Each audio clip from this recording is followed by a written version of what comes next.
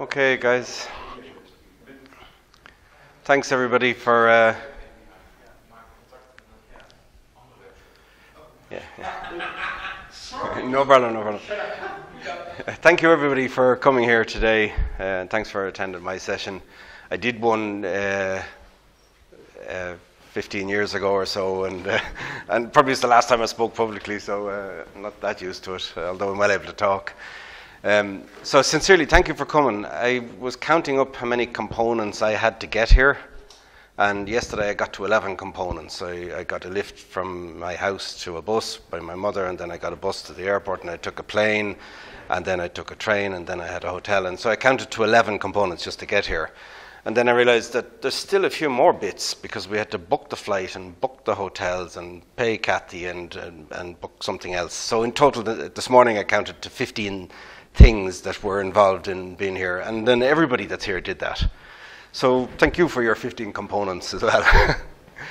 um, I want to talk about MFA and DNN, and I really don't know if everybody here at the conference, if 80% of people already have MFA enabled and they're using various different ones, or if 85% of people are single factor authentication. Um, I sort of have a, a guesstimate that 85% are using single factor, um, and to, to do something different, it seems like a high hill to climb. Um, I'm hoping at the end of this presentation that you can go home and in 15 minutes put MFA on your DotNetNuke website, and unless you've got thousands and thousands of people logging in every day, it's free. So if you think that MFA is good, um, then hopefully that's going to be useful to you. So. Um, Thank you to the sponsors. Uh, again, I had a look at the accounts from last year, so I say thank you to the sponsors because we wouldn't be here uh, with them. I guess it'd be 1,200 euro to attend. So thank you to the sponsors. They're making the, the event happen.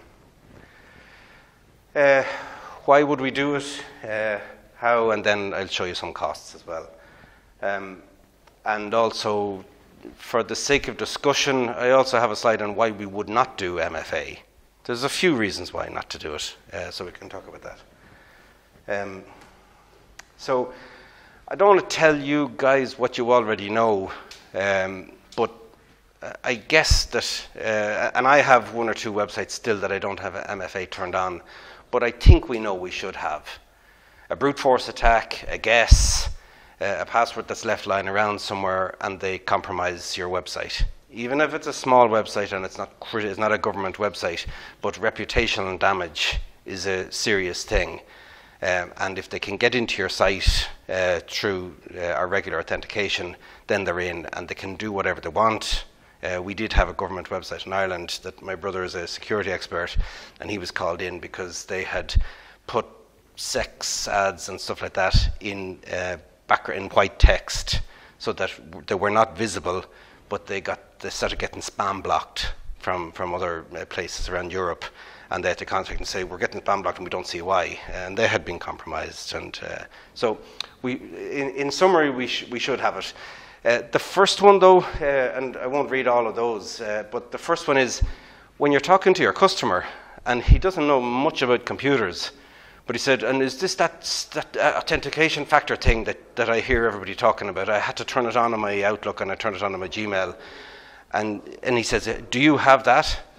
You can't say no. You just can't. You can't say, Well, you know, I've been meaning to get around to it and I can, I can send you an SMS or something like that if you want. So you want to just be able to say, Of course, uh, we're hosted on a reliable platform, and of course, we're MFA, the same as Google and Microsoft. Any more questions on that? And probably he'll say, okay, that's enough for me. Uh, that's more more technical than I than I want to be. Um, but there's, there's uh, compliance. If you have any sort of body related to government at all, then you want to be sort of compliant. Um, I put uh, the first one there is uh, enhanced user trust. So not just the, the, the owner of the company or the owner of the client, whoever it is, but the people, the users. We've one customer and uh, then they have sort of thousands of users, some of which are conducting their business on our platform. Um, those people want to protect their, their company and their business. And even though in our case they wouldn't be highly technical, um, but they've got plenty of money going through it, millions of euro going through it, and they know something about MFA. They know something about that. They've, they've had to do it with their email. And so if the platform that we give them is not enabled with MFA, they might not say anything to you. They mightn't even be brave enough to pick up the phone and call you. But when the other salesman arrives and he starts saying, of course, our environment is MFA and uh, that one is not, then next thing you know, uh, you've lost your customer. Um, so I guess I don't really have to say anymore. We, we should be like that. Um, so uh, I, am delighted to do the presentation. I don't hold myself up as an expert in this subject matter, but I, I do sort of say that I'm somebody who's been interested in it for some time. Um, there's not that many ways that I know of to make it easy. Um, and, and for the sake of this discussion, I'm excluding where everybody's in a corporate environment and already have a Microsoft or Google Enterprise account. So if, if you're already 300 people in the company and they already have Microsoft 365, then you'll probably use SAML or something like that. Um, but for, for the likes of what a lot of DotNetNuke is where you've got five or 10 or 50 or a few hundred users on Yahoo and on Microsoft and on traditional email, and then how can you achieve it? One way is with SMS. Um, the trouble with SMS is they're about five cent a message. And if you start multiplying thousands of logins per month, you immediately realize that it's going to be costing you 10, 20, 30,000 euro per year. So uh, unless it's a very valuable business application, then that's probably out. Um, we have uh, a project with thousands of users across Ireland, um, but they wouldn't be highly technical. And so trying to explain to them, download a thing called an authenticator app onto your Nokia phone, and then you'll be able to scan a 2D barcode. And she says, What's a barcode? And you're lost already, you're gone. So you lock the customers out. Um, another customer, I spoke to him and said, We can make your system more secure. And he said, Mark, I need my customers to log in here. I get revenue from them. I'm not going to make it more difficult. So he wasn't prepared to put up a barrier. Um, so uh, you know, the first and second one are nuisance. Uh, hardware tokens, uh, quite specialized, uh, biometric authentication, which I'm noticing is creeping into my life more now that I'm saying yes to certain prompts. Um, but that's also not, uh, not very easy to implement with DNN. Um, some of the kind of push notifications uh, that you can do through apps that you might install on the phone, again, it's out of scope for 99%.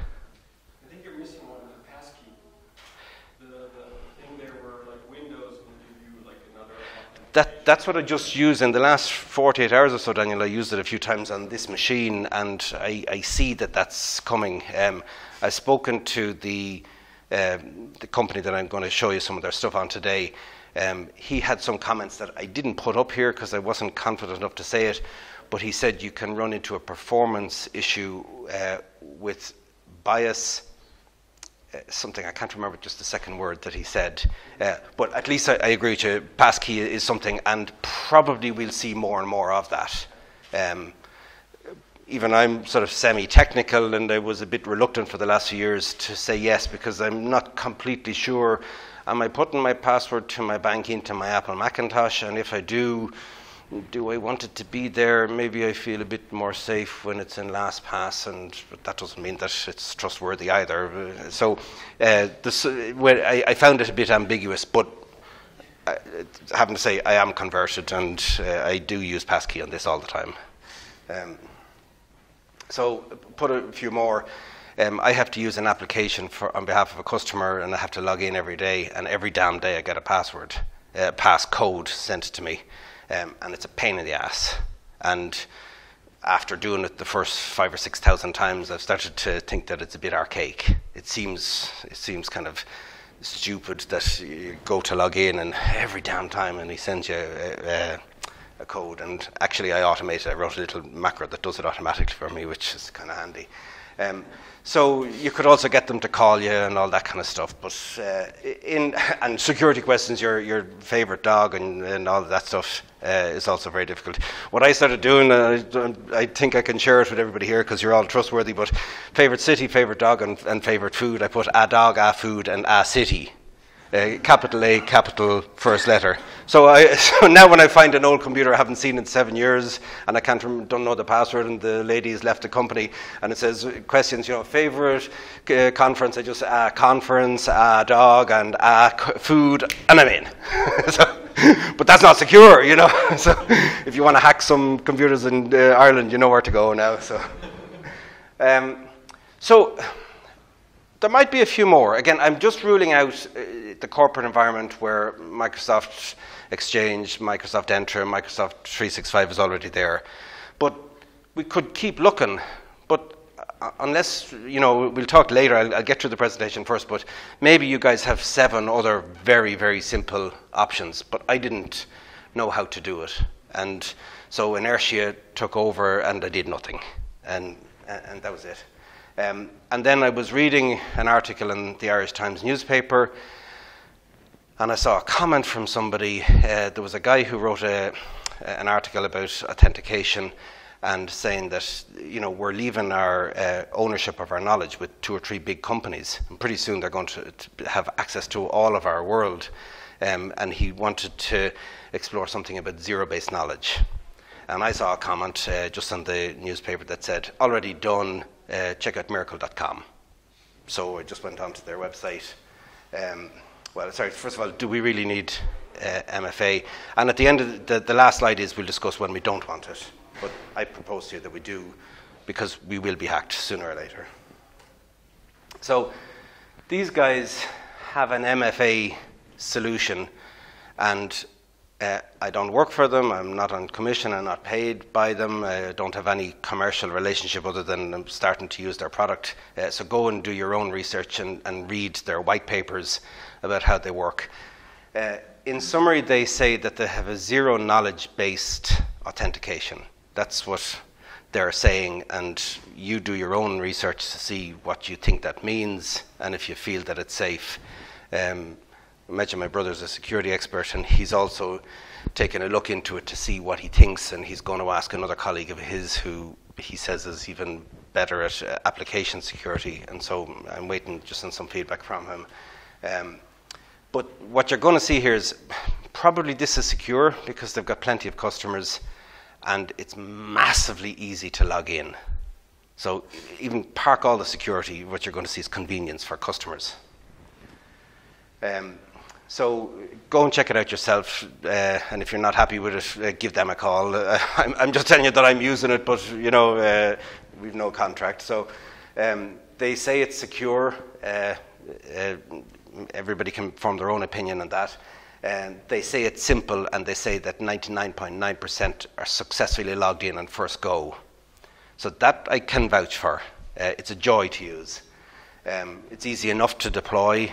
Um, you'll see Bisense's contribution in a minute to it.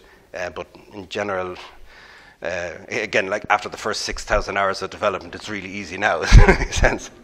Uh, so it's not expensive. It's not free, uh, but it's not expensive. Um, and convenience and uh, cost, uh, you, you, start to say, okay, is it convenient? Do I want it or do I not? But it's not that expensive. Um, and it's quite powerful. I'm only going to show you the basics today, but you can do quite a bit more sophisticated stuff in it if, if you had a very uh, uh, valuable project or the customer wanted a higher level of security. Um, so uh, I just took this text and this graphic from their website. Um, so, uh, as I understand it and reading a little bit about it, there's a secret generated on your machine with a pin that you're going to use. Uh, they stay on your machine. Uh, they generate a token, and then you send that token to Miracl. Miracl store the token, and in future, then you can uh, recreate that token and send it to them. And if your token matches, then they say, okay, it must be Mark Breen because he has he's done some stuff. Um, so I'll, I'll, keep going. Um, and the first is just to log into a website. Okay, so this is a DNN site.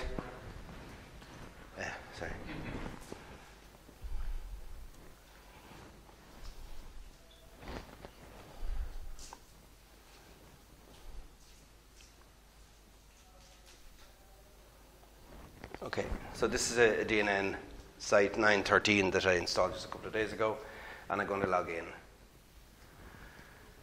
So I click login, my P- keypad comes up, I put in my PIN, and I'm in, and that's it. I've just logged into DotNetNuke with, with multi-factor authentication. My PIN for that machine is 1111.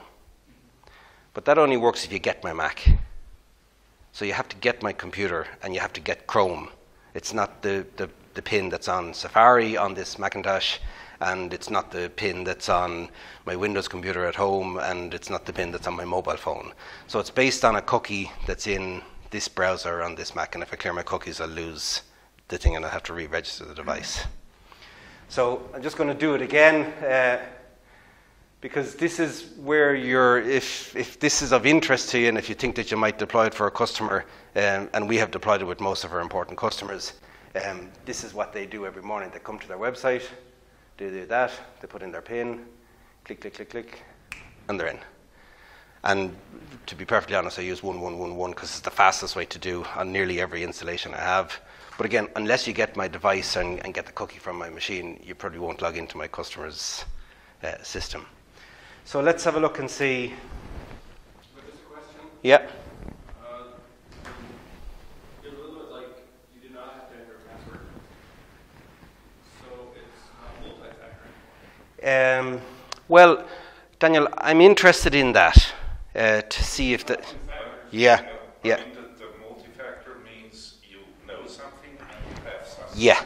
So you know something, you know your. You know the PIN, yeah. PIN Sure, sure. But you don't have something. Sure, sure. Well, yeah. Okay. so-. Yeah. You have to have the cookie, yeah. You have to have the cookie, yeah. And again, uh, I'm not the sales rep for Miracl, so uh, you, if you decide that you're interested in doing this, you'll have to go to Miracl's website yourself and assure yourself of whether or not uh, what they're doing. They call the facility they offer Miracl Trust, and I've been discussing with my brother in the last few days. Do we really consider this MFA? Is it really multi-factor authentication, or, or, or is it something that's called Miracl Trust, where it's something subtly different than pure MFA? Um, but but we'll keep going, and you'll see how it works, and, and you may eventually say it is MFA. At, at least if I go to that guy's computer over there, uh, my 1111 will not work because he doesn't have my cookie. So that's certain. Then I have to register his device. And to register his device, we're going to use an email.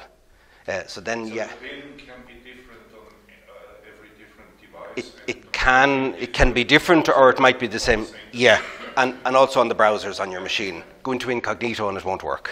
Yeah.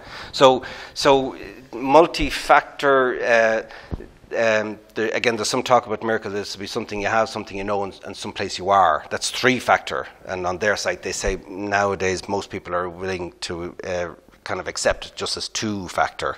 Um, but but at least if you have this working, you most likely have access to the person's computer and have access to their email. And if they're using any kind of a modern email where they've got MFA turned on in the email as well, you've got a, another layer of protection. So I wouldn't use it if you own a bank. Maybe you don't do this. You know, with a bank, you might uh, have an app and people are prepared to spend 15 minutes to get into their bank. Um, my own bank in Ireland, there's a, we have a private bank and then the company bank, and the company bank is even more difficult to get into. But we're prepared to do that because the cash is there, you know. Uh, but when I want to get my sports results from our website, I want to feel secure enough, but I want to be in there fast. And um, I think this is what it, it does. So, But you don't show what you have to do the first time you log in. You'll say that, you know. yeah, yeah, I'm, go- I'm going to show you. I'll sh- I'll sh- we're going to do an installation on a vanilla DNN site. Um, so there's a company called ProxIT that had a seven-year-old project on GitHub, and it seems there's been no activity since there. Um, uh, Bsense coded the module that you're seeing here today. Um, Margin funded it, um, and we have it running for nearly two years, I suppose. And, and we started off with the, the least important websites, afraid to put it onto bigger customers in case we locked them out, uh, but we've had no problems with it. Um, so I'm just calling out. Uh, we haven't been in contact with this uh, ProxIT, uh, so we don't know them, but it's a fork uh, on GitHub of, of a, a beginning module that they did that did, I think maybe didn't do anything. Yeah. So, but just to give them respect. Um, and we haven't published it on GitHub, uh, but at least anybody uh, who wants to use it uh, is welcome to the code, and we might decide to fully open source it or not, uh, based on your feedback, actually. Um, so, how to set it up? Uh, I'm going to try to do this now as a demo and, and see can I really make it in two or three minutes. So, what you've got to do is go to Miracl's website, create an account, which should take 30 seconds.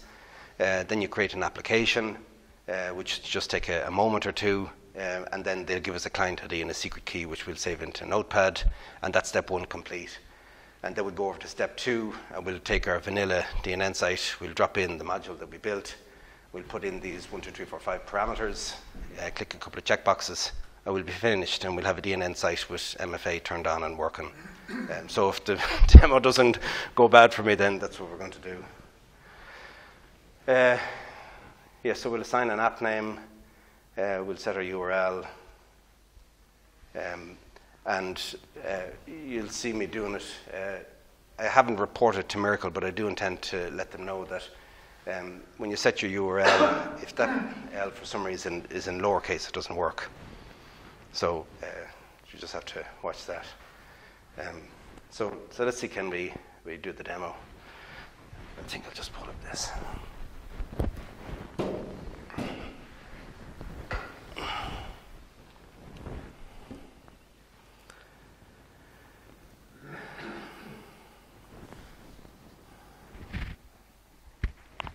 Okay, so miracl.com is their website. Uh, I'm going to, uh, sorry. I'm going to sign up.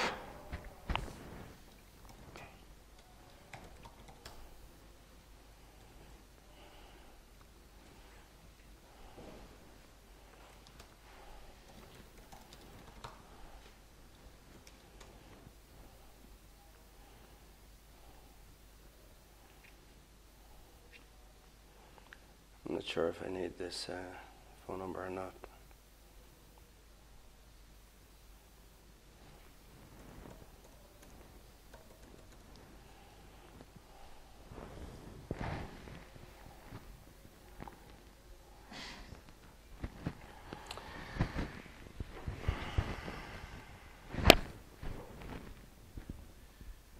Okay.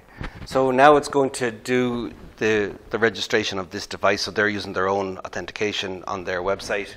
Um, and so it's going to uh, send, me, send me a link. So I click the link.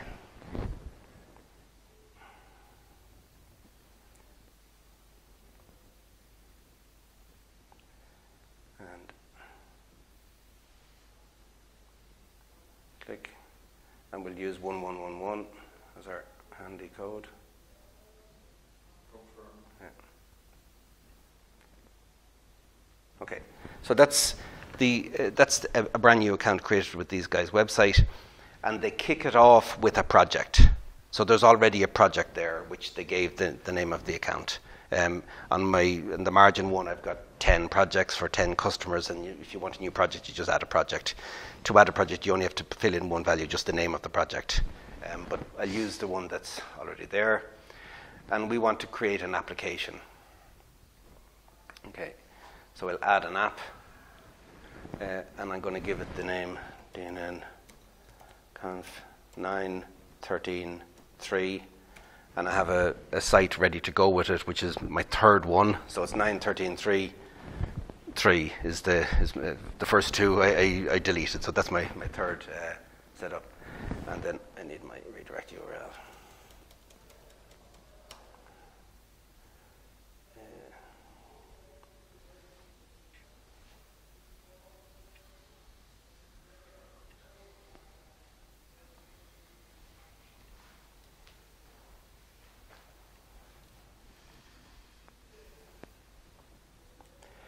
For this new site, then uh, it, has, it has an extra three.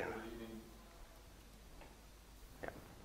Okay, so we'll add the app, um, and then I need these two values.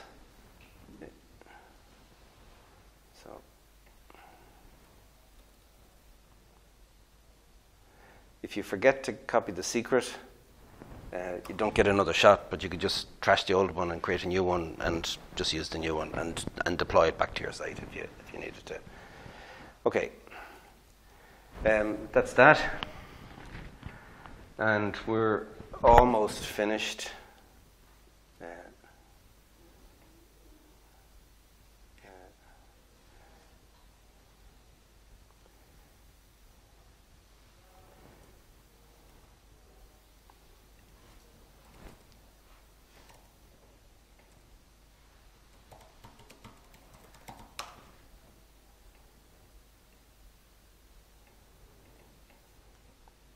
There's a cosmetic.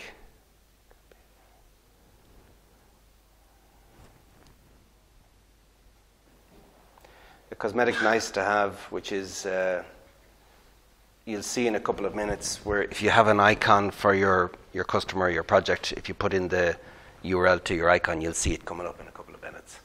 Um, so I'll save those changes. Um, and I'll turn off this um, mobile because it's got to do with an authenticator app, so you don't use that. Um, and that's all you really have to do. Um, there's one other optional one. Ah, sorry, makes sense, thank you.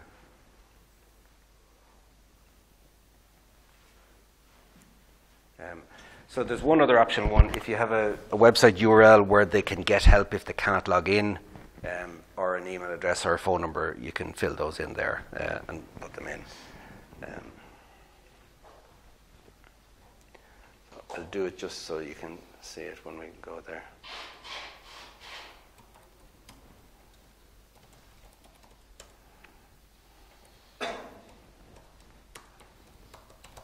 Okay.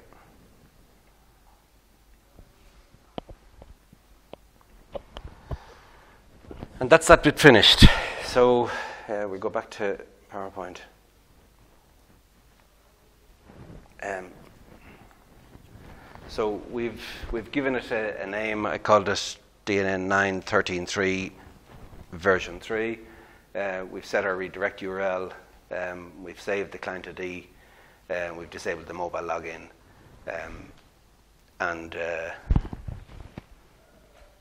we've, we've put in some branding as well. So, and that, that, is, that is all you have to do on the Miracl uh, side. Um, so the next step then is we'll take a vanilla uh, DNN and we'll drop in the module, we'll paste in those five values, and we'll be finished.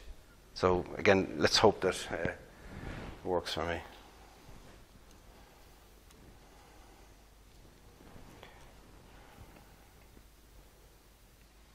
So this is 9.13.3.3, uh, demo.martin.ie.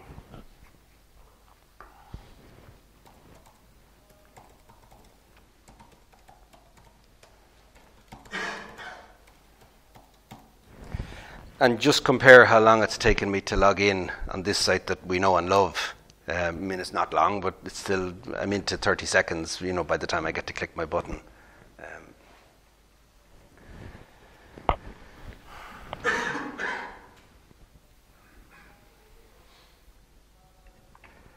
so, I'll go to extensions,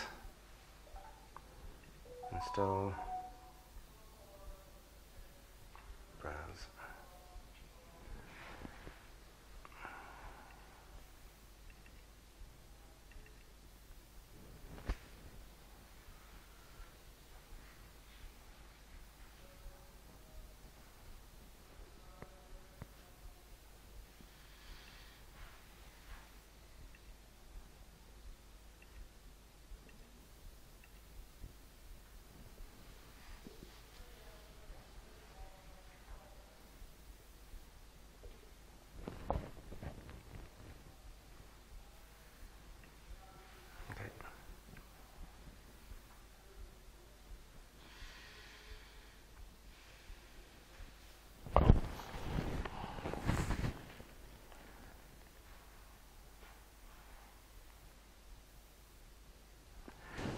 noticed uh, when preparing for it that it's uh, just no harm to to reload the site and then uh, we'll be able to get into our settings.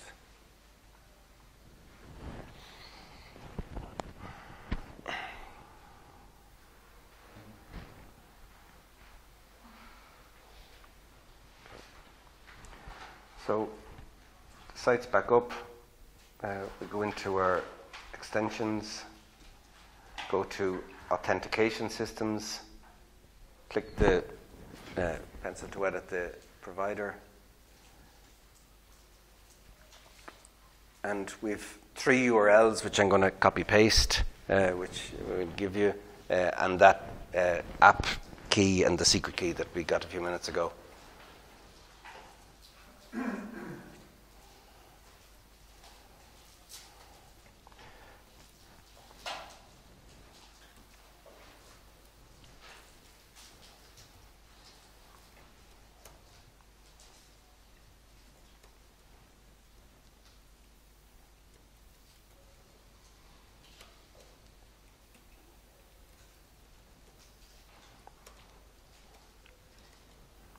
So, and this is the, the key that I copied, the, the kind of the client key, which is public, and this is the secret key that they gave us.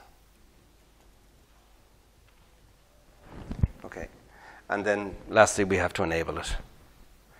So, I have two ways to do the demo. Leave those two boxes unticked, um, and uh, if something goes wrong, I might get embarrassed or tick them and we cross our fingers and if I tick them and if it works perfect then we're finished. So we'll go with the uh, we'll do the risky one because uh, why not? So that should be it. I'm finished. Um, I say risky. First of all, nobody here would do this directly on your live site, but but on your test site, even still, what you might do is not tick them. Uh, open another session, make sure that everything is working, and keep your authenticated session here in case you've just screwed yourself. Um, after you've done it, you know, uh, plenty of times, then you start to get a bit more confident. But uh, so, so if everything is right, uh, this is all set up. Uh, I've already saved that. So now we can log out.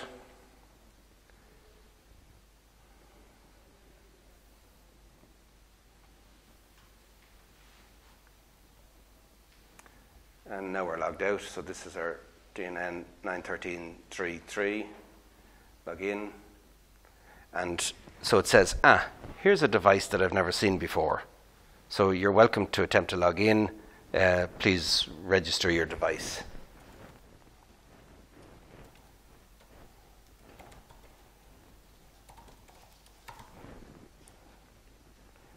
And it sent me an email. I closed that tab. Go back to my inbox. There's the email click 1111 1111 and this website now has MFA installed on it. Uh, and that's as long as it takes and I don't have to do anything else with it. We're finished. On the email address yeah. So so so what what has happened there is uh, I installed the module um, I didn't, I, because I was brave, I didn't leave the two authentication systems set up. Um, and I started at 10 past, quarter past. We have 20 minutes. 20 minutes left, yeah. So, um, so I installed the module. Um, you have a choice with the module to leave both authentication systems working. Let's call that a backdoor in case you screw yourself in your presentation. Uh, because, and then we have two tabs on it. You can log in with username and password. And if you wanted to try that for a week or two, you know, if you felt nervous. Um, but I, because I was brave, I turned it off. And so I've only enabled one authentication. The user called mark.breen at margin.ie was already set up on this DotNetNuke website. And you had seen me logging in initially as mark.breen at margin.ie. So that user has now just logged in. Uh, we, our module uh, has sort of said, okay, I know who that guy is. He's registered on the site. Uh, then it did its business with Miracl. Uh, Miracl sent back the token, and, and we can log in and log out. Does that mean, if I'm correct, I only needed to know the, the login username of somebody else, Yeah, and I could register yeah, that person? and you need to have access to his email. Yeah, yeah. And you have to register the user. With, with your DotNetNuke site, yeah. The, the, um, yes, Sasha, and You can also register a new user Well, I'll, I'll go on to the end. In the last slide, we, we can discuss some of that stuff because there's quite a bit of complexity in that discussion that, that you're doing. So, in short, let's say in an initial website where you've got 30 or 500 people already registered, um, that would be the first use case. Uh, or, or even better, you've got three people registered. You know, the, the customer who does our updates on the site, you and, and two other people in the company. For those kind of ones, it is really trivial to add it, uh, and you still get those benefits uh, of customer uh, customer confidence uh, straight away. Um, let me go back to.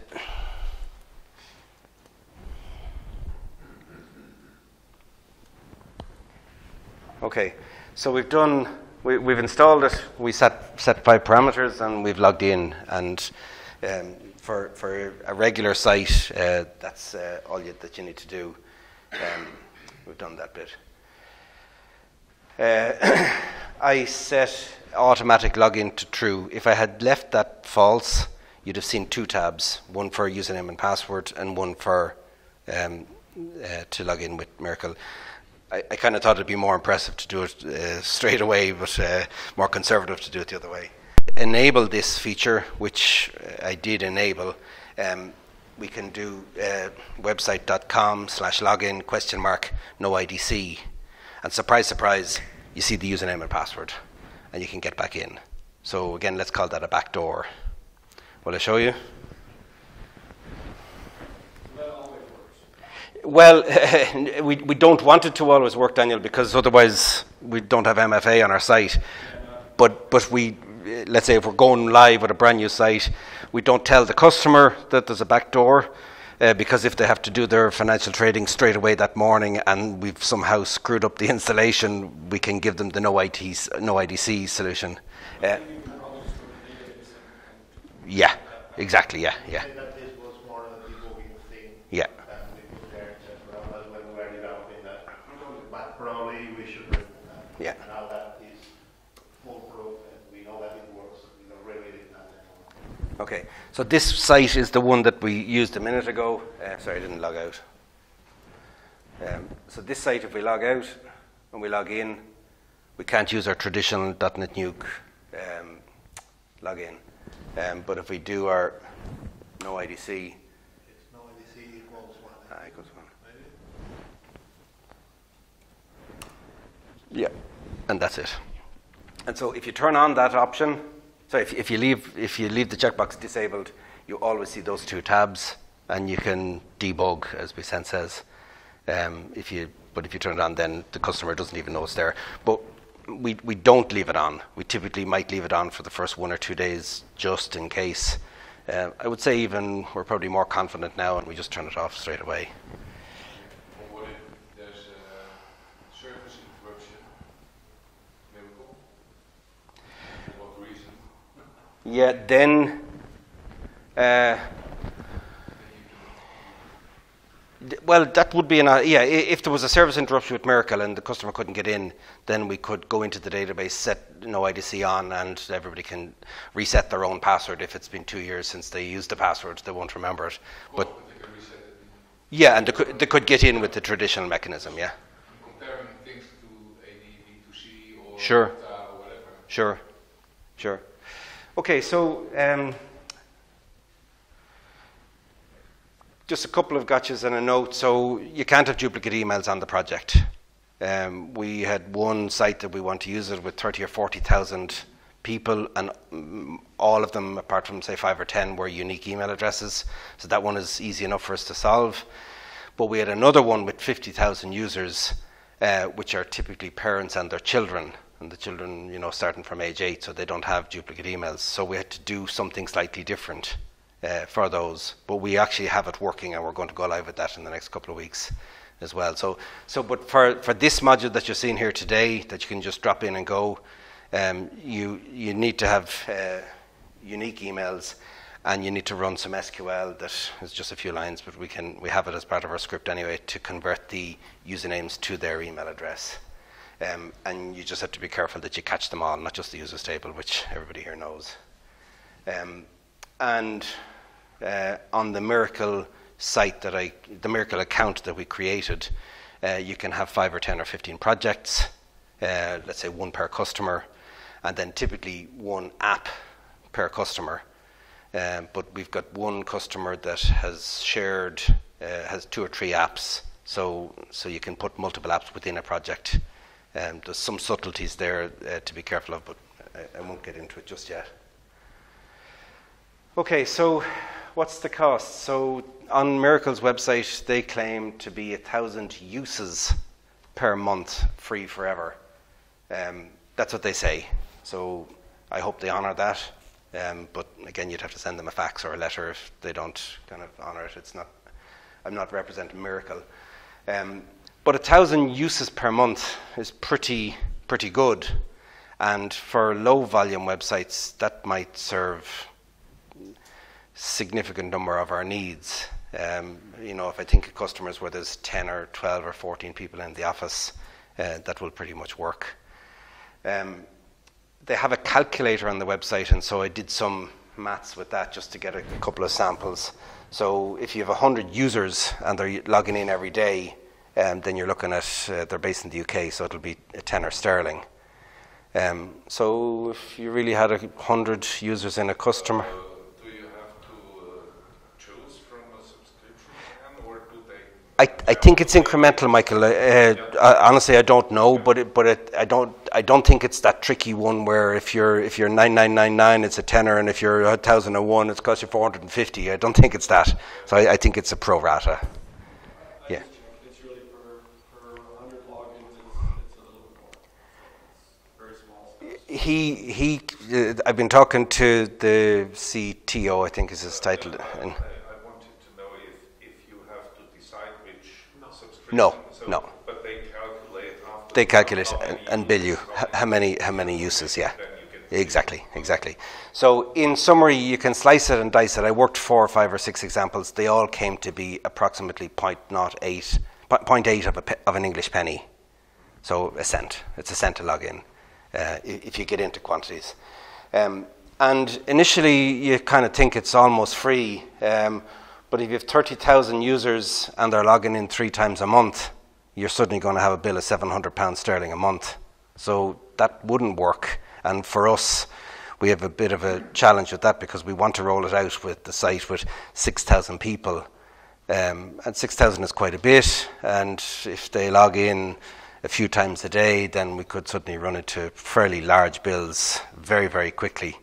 Um, one option for that is to extend the lifetime of the cookie. Um, and so we did it a couple of weeks ago with one of the sites that it's turned on. Um, so about three weeks ago, we extended the lifetime to be, I think, seven days. So if you touch the site within seven days, the cookie is refreshed. So I haven't logged in on that website since. Um, you might smile and say, but Mark, that's crap because you told me you were going to give me MFA and you kind of talked about that it might be free, but now I have to leave my app authenticated for three weeks in a row. But then Gmail does that for me as well. So Gmail also lets me stay logged in. So uh, I'm just telling you what we've done. Uh, we can we can say what doesn't work with it, but but in summary, uh, and then there's another one, which is that you may charge the customer. If the customer wants MFA, uh, you may charge the customer. And if we went back to the first and second slide, um, if he wants to pay for SMSs, he's looking at five cent plus VAT. Um, so if this is a cent a click, then it, it's. Uh, but even forget about the cost for the moment. The convenience of the login is what trumps it for me. I mean, there's no way to, to get in that fast. If your browser has the password remembered, um, you probably will get in as fast. If you're using LastPass and you have to use your mouse and go over to it, it still won't be as fast. Um, so for the customers that we've deployed it to, um, I've been sort of keeping in, in variable touch with them over the last couple of years. And one lady has about 15 or 20 swim instructors, so kind of late teenagers, early 20s. And I've been asking her, how did they like it? Um, so it's not exactly enormous market research, but she says they think it's great. Um, another large corporate customer uh, doing energy trading, financial uh, energy trading, and so we've deployed it with them, and th- they think that it's seamless, um, and they don't talk about it, and probably that's also um, some, some good news. Yeah, yeah, yeah. Uh, thank you to the sponsors. Uh, say again, we wouldn't be here without the sponsors, so thank you.